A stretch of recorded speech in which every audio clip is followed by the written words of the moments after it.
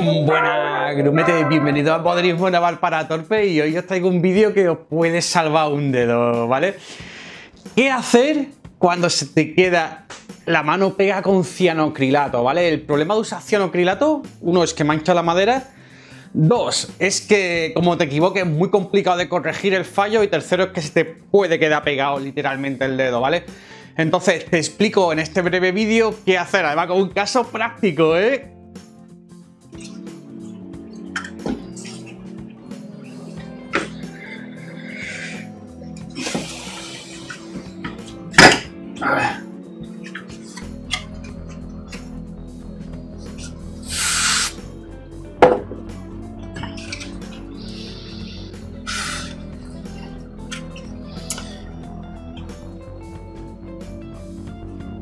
Debo dice mañana se va a la piscina, yo me puedo ir a la playa de Deu.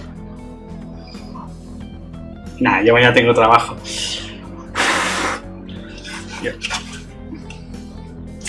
Oh, se me ha quedado pegado el dedo.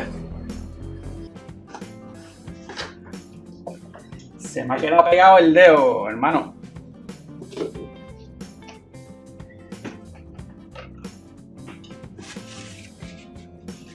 Oh.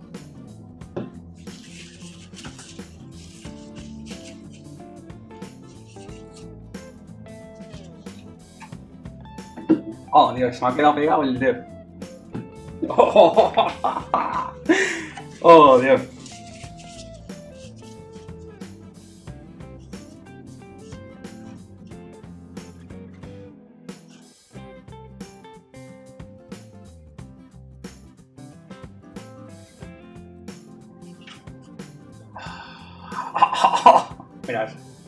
Ahí se ha soltado. Eh... sido amenazarlo con esto y fuera. No pasa nada. ¡Oh! Mira, mira, mira.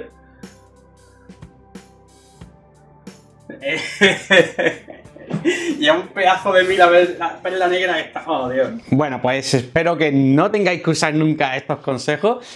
Que nunca se os quede pega la mano al barco con cianocrilato, pero bueno, si os pasa, mantened la calma, no os pongáis nerviosos, seguid los consejos del vídeo y a unas malas os engancháis el barco y os vais para urgencia con el barco, ¿vale?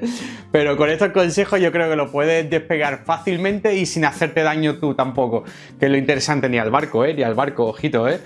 Pues nada, dadle al like si os es útil, si no es útil, dadle al like porque algún día os puede ser útil y nada, nos vemos, grumetes.